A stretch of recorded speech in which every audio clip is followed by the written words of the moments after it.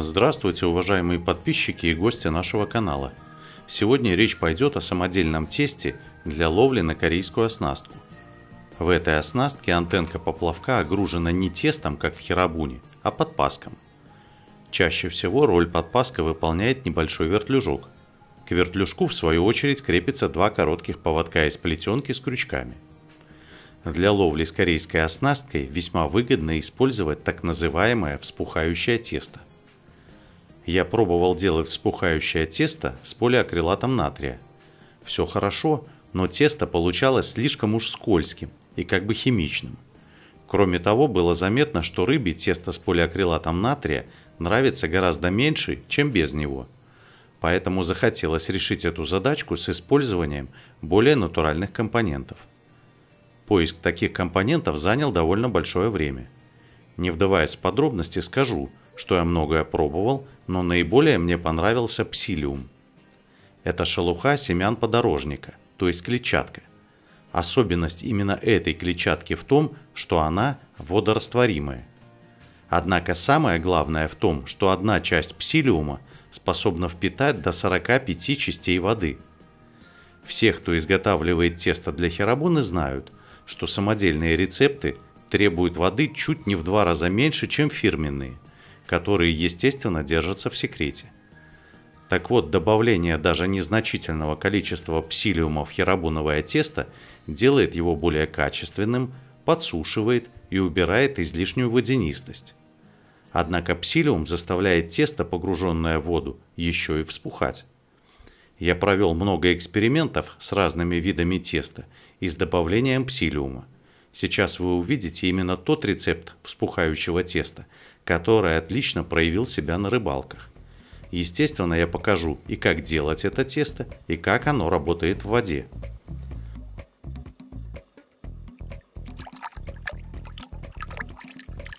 Чтобы точно отмерять все ингредиенты теста, очень удобно пользоваться специальными пекарскими мерными ложечками. Есть большие и малые наборы таких ложечек. Вспухающее тесто я делаю на основе своего херабонового теста. Его состав такой.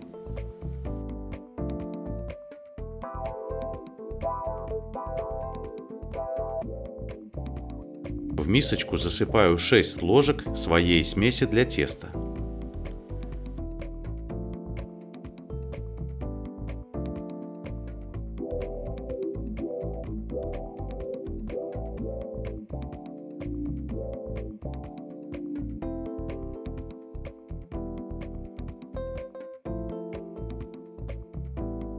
Теперь в дело идет 3 ложечки псилиума.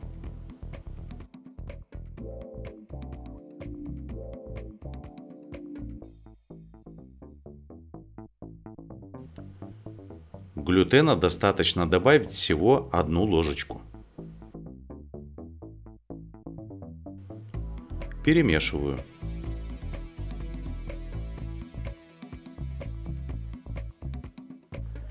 Теперь добавляю 8 ложек воды.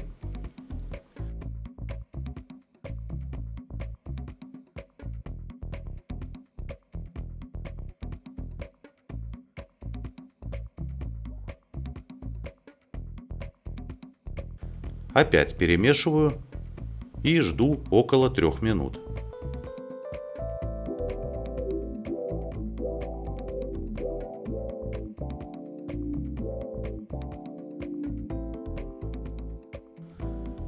Собираю все тесто в один комок и лишь слегка обжимаю его.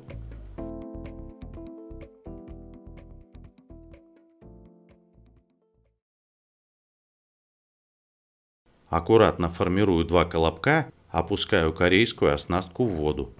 Время пошло.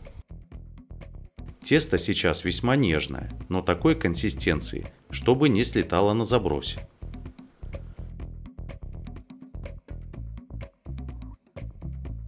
В данном случае я совершенно не мял тесто и формировал колобки на крючках без сильного обжима. В результате внутри колобков остается воздух, который значительно влияет и ускоряет вспухание теста на крючках. Псилиум начинает сильно пить воду, и это прямо на глазах увеличивает колобок в размерах. Причем самое интересное, что глютеновая сетка внутри колобков с одной стороны мешает быстрому вспуханию теста, но с другой стороны очень хорошо армирует колобки. Тесто не просто увеличивается в размерах и осыпается на дно, а держит форму. То есть колобок увеличивается в размерах, но остается примерно той же формы. При этом хорошо видно, что крючок, как и раньше, находится примерно в середине колобков. По мере вспухания тесто становится все более и более нежным, но при этом продолжает надежно удерживать крючки. Если бы в данный момент тесто висело в толще воды, то оно начало бы сваливаться с крючка. В данном случае тесто, несмотря на свою нежность, отлично фиксирует крючок в центре колобков – не стоит бояться, что рыба съест тесто и проигнорирует крючок. На самом деле рыба пылесосит корм и всасывает его в пасть стоком воды. Глютеновая сетка сейчас нежная, но ее силы хватает удерживать крючок внутри колобков. Если сейчас вытащить оснастку из воды, то окажется, что крючки голые, без теста – Однако при ловле на корейскую оснастку, даже с использованием достаточно нежного теста с глютеном, естественно, можно делать перебросы не ранее, чем через 20 минут. При этом вполне можно быть уверенным, что если поклевок не было, то и сейчас тесто на дне и продолжает удерживать крючок. К слову говоря, вспухающее тесто становится не только очень нежным, удобным рыбе для кормления, но также у него значительно увеличивается и площадь поверхности. Соответственно, все ароматические добавки в тесто более интенсивно вымываются из него и привлекают карасей с большого расстояния. Прошло уже почти 3 минуты. Можно ждать и дальше, но для наглядности покажу, насколько нежное сейчас тесто при помощи деревянной палочки. После нажатия на комочки один крючок так и продолжает оставаться внутри теста, а другой все-таки выскочил. Можно доставать оснастку. Тесто при этом, естественно, свалится с крючка.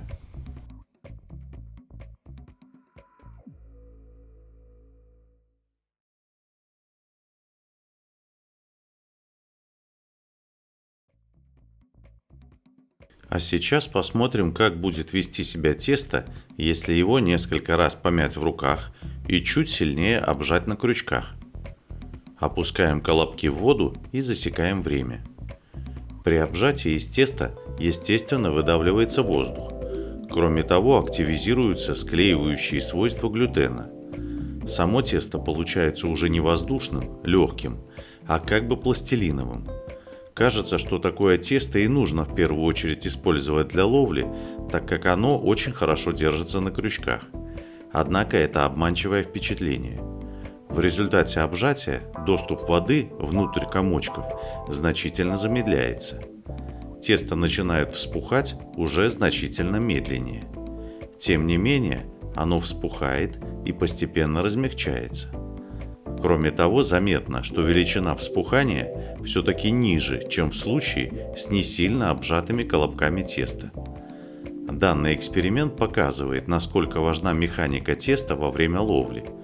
Даже такой вроде бы маленький момент, как сила обжатия колобков на крючках, значительно влияет на работу теста под водой. С другой стороны, меняя силу обжатия теста на крючках – мы можем подстраиваться под активность рыбы. Если рыба клюет быстро, буквально в течение 1-3 минут после заброса, то тесто обжимать не стоит. Если же рыба более пассивна, ее в точке ловли мало и поклевки происходят примерно через 3-6 минут, то такое тесто уже стоит слегка обжимать. Если же поклевки весьма редкие, то основной комок теста стоит помять до достижения более пластилинового состояния. В этом случае уже можно между перезабросами делать паузу в 20 и даже 30 минут. Поэтому перед тем, как начать превращать отличное, вспухающее воздушное тесто в пластилиновое, всегда стоит немного подумать. На данный момент прошло уже около 6 минут. Проверяю тесто палочкой – комки все еще достаточно плотные и излишне активно держатся на крючках. До хорошего размягчения еще нужно ждать минуты 3-4. Все ясно. С жесткими колобками обычно и поклевок рыбы меньше, и удачно подсекать карасей будет сложнее. Поэтому еще раз повторю мысль о том, что обжимать вспухающее тесто нужно очень деликатно и при этом четко представляя, к каким последствиям это может привести. В заключение, еще раз на ускоренной съемке посмотрите, как работает слабо обжатое вспухающее тесто с добавлением водорастворимой клетчатки псилиум. До новых встреч, друзья!